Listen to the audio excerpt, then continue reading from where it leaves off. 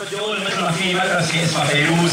مثل ما في مدرسه اسمها الرحابني وديع صافي في مدارس كثير كبيره هلا عم تنشا ولازم ندور عليها اليوم التقليد الشعبي والغناء الشعبي والتراث الشعبي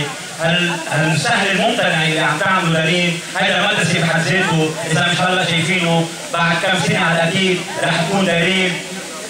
بسفيرتنا للنجوم اذا مش هلا ولكن النجوم الخالده نحن عم نحكي بالخلود نحن عم نحكي بامثال فيروز بتجي دارين حكيتي وعلى تربيتهم